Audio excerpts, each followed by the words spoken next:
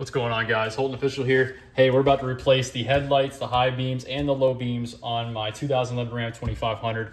I got all this right off of Amazon and it's gonna be a massive upgrade. We have the 9005 H3 with fans and perfect little uh, chips in here so your blinkers and lights work perfectly with no codes. That is going to be the Sealight Scoparc.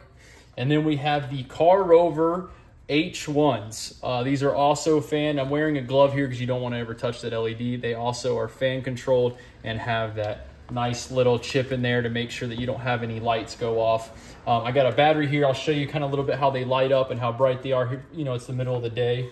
We also, for my 2011 Ram, got these wiring harnesses to make it really quick and easy. All we have to do is plug this into the main wiring harness, and then you clip these into your high beam and your low beam, and you're done. Easy wiring, no splicing, anything of that nature. Um, you get all this right on Amazon, like I said.